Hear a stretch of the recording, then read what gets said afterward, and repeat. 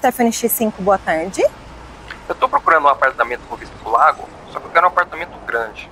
Então, pelo menos uns 140 metros. E deixa eu te perguntar, até quanto que você estava pensando em investir? Olha, Stephanie, eu não posso investir mais que um milhão e meio. Ah, então eu tenho a opção perfeita para você. Vamos lá comigo que eu vou te mostrar.